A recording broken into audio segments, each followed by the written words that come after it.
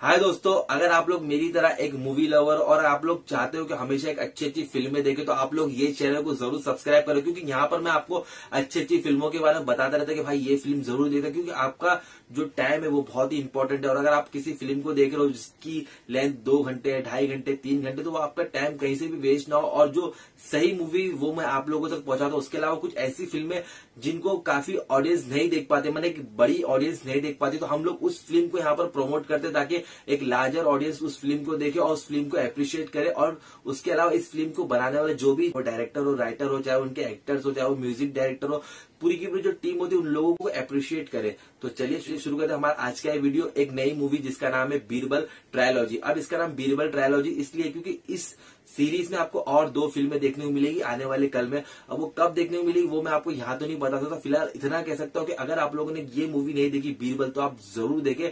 ये एक murder mystery पे बनाई गई फ़िल्म है, लेकिन आप लोग सोच रहे होंगे, यार मर्डर मिस्ट्री पे तो हम लोग ऑलरेडी बहुत सी फ़िल्में देखे तो इसमें नया क्या है?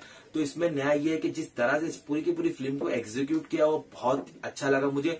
उसके अलावा इस फ़िल्म के जो डायरेक्टर है वही इस फ़िल्म के मेन एक्टर भी, यानी कि एम जी श्रीनिवास, और उन्होंने यहाँ पर जो रोल प्ले किया है, महेश दास का, वो बहुत ही ज़बरदस्त रोल है। और मुझे ऐसा लगता है कि इस फ़िल्म में जिस तरह से उन्होंने एडवोकेट का रोल प्ले किया, अगर इसमें वो पुलिस वाले भी होते तो वो जो चीज़ है, वो चीज़ नहीं बदलती। और ये फ़िल्म देखने में जो मज़ा है, वो मज़ा बिल्कुल भी खराब नहीं होता। तो आप बहुत से लोग बोल रहे होंगे, भाई, इस फ़िल्म का नाम बीरबल क्यों है? तो मैं आप लोग को बता दू, बीरबल एक ऐसे इंसान थे, एक ऐसे राजा थे, जो बहुत ही चतुर थे, बहुत ही चालाक इंसान थे।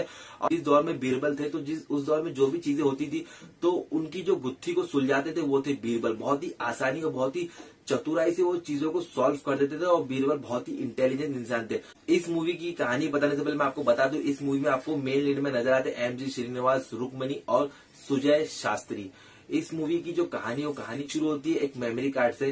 तो दो लोग मेमोरी कार्ड को लेकर कुछ बातें कर रहे होते हैं, लेकिन कहानी आगे बढ़ती है और वहीं पर हमें पता चलता है कि एक टैक्सी ड्राइवर का मर्डर हो चुका है। लेकिन जहाँ पर उसका मर्डर होता है उस सड़क से एक लड़का गुजर रहा होता है। तो वो देख लेता है कि भाई एक टैक्सी में एक लाश है। तो वो पुलिस वालों को कॉल करता है। लेकिन पुलिस वालों को कॉल करने के बाद अनफॉर्चुनेटली पुलिस वाले समझते कि इसी लड़के ने मर्डर किया और वो इस लड़के को पकड़ भी लेते और इसके खिलाफ जो है सबूत भी इकट्ठा कर लेते और, और इसको ही सजा हो जाती है। खैर ये इंसिडेंट हुआ था 2010 में और अब तकरीबन आठ साल हो चुके हैं। तो उसके बाद एंट्री होती है एमजी श्रीनिवास यानी कि इस मूवी के जो मेन कैरेक्टर है जिनका नाम है महेश दास उनकी एंट्री होती है। उसके बाद कहानी में क्या ट्विस्ट एंड टर्न्स आते हैं और किसने ये खून किया यानी कि बेसिकली देखा है तो ये जो कॉन्सेप्ट है, वो कॉन्सेप्ट है हु डन इट तो ये मर्डर कौन करता है और कैसे महेश दास इसका पता लगाते हैं, किस तरह से वो पूरा ऊपर इन्वेस्टिगेट करते हैं, ये सब कुछ जानने के लिए आपको ये मूवी देखनी पड़ेगी बीरबल।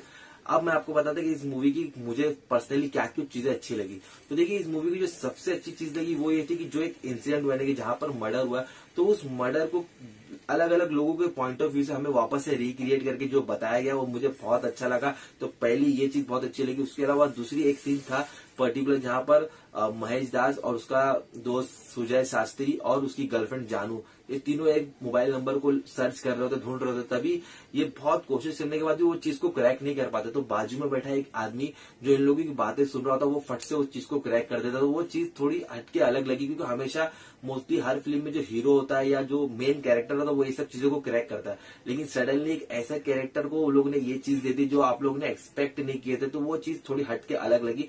और इस मूवी का जो सस्पेंस है वो स्टार्ट से लेके एंड तक बना रहता है। और इस फ़िल्म में इसके अलावा और भी कुछ अच्छी अच्छी चीज़ें बताई जो मुझे पर्सनली यहाँ आपको नहीं बता रही क्योंकि अगर मैं आपको बता दूँगा तो जो फ़िल्म देखने का जो मज़ा है, वो मज़ा खराब हो जाएगा। मैं आपको इतना कह सकता हूँ अगर आप कोई सस्पेंस थ्रिलर मूवी देखना चाहते हो, ये मूवी आप लोगों के लिए बिल्कुल भी है। ये मूवी आपको यूट्यूब में ही देखने को मिल जाएगी। अगर आप लोग लिखोगे ना बीरबल कनाडा मूवी तो ये फुल मूवी आपको यूट्यूब पे मिल जाएगी विथ इंग्लिश सब टाइटल तो अगर आप लोग हिंदी ऑडियंस अगर आपको हिंदी में फ़िल्में देखना पसंद है, कन्नड़ा लैंग्वेज समझ में नहीं आती तो इस मूवी को आप सब के थ्रू देख सकते हो। और मैं आपको इतना कह सकता हूँ कि ये फ़िल्म आपको कहीं से भी बोर नहीं करती। ये फ़िल्म दो घंटे सोलह मिनट की हाँ इतना कह सकता हूँ कि इस फ़िल्म का पंद्रह मिनट आराम से इजिली एडिट कर सकते थे। स्पेशली जानू और महेश के जो सीन्स थे, वो सीन्स मुझे कुछ इतने खास लग नहीं रहे थे और ना ही वो इस फ़िल्म से कनेक्ट भी हो पा रहे थे। तो वो सीन मुझे थोड़ा एडिट कर सकते थे कि तकरीबन पंद्रह से दस मिनट इस फ़िल्म के आराम से कट सकते थे, मगर खैर, ये फ़िल्म अगर आप लोग देखोगे तो थ्रू आउट आप इस फ़िल्म को एंजॉय करोगे और इस फ़िल्म के जो राइटर है, वही इसके एक्टर भी है, वही इसके डायरेक्टर भी यानी कि एम जी श्रीनिवास जो कि बहुत ही शानदार काम किया। अब ये देखना है कि इस सीरीज़ में आने वाली जो दो फ़िल्म है, वो उस फ़िल्म में हमें क्या कुछ अलग देखने को मिलता है, क्या अलग कुछ केस देखने को मिलेगा, या वाकई में इसी केस से कुछ लिंक हमें सेकेंड मूवी देखने मिलेगा, वो तो वक्त ही बताएगा। फ़िलहाल तो मैं आपसे इतना ही बोल सकता हूँ कि ये फ़िल्म आप पूरी तरह से एंजॉय करोगे और अगर आपको ये फ़िल्म फैमिली के साथ बैठ के देखना तो आप इसे फैमिली के साथ भी देख सकते हो। ये इसमें कुछ भी ऐसे एडल्ट या बोल्ड सीन मुझे तो नज़र नहीं आ रहे थे, ना ही कुछ ऐसे सीन थे जो आप लोग फैमिली के साथ नहीं देख सकते। तो कुल मिला के एक फैमिली एंटरटेनिंग मूवी और ऐसी मूवी है और एक ऐसी इंडस्ट्री से आती है जिसके बारे में मैंने एक्सपेक्ट नहीं किया था। तो कुल मिला के ये मूवी वर्थ वॉच है। अगर आप लोग को देखनी तो आप लोग ज़रूर देखना। तो बस इस वीडियो में इतना अगर आपको ये वीडियो पसंद आता तो इस वीडियो को लाइक चैनल को सब्सक्राइब और साथ ही इस वीडियो को आगे साथ शेयर भी करो। व्हाट्सएप पे फेसबुक पे इंस्टा पे ट्विटर पे, जहाँ मर्ज़ी है इस वीडियो की लिंक को शेयर करो। तो मैं हूँ राशि शेख और आप सब है अरहान एंटरटेनमेंट में। तो मैं मिलूँगा आपसे कल किसी नए वीडियो में। दुआ में याद रखना।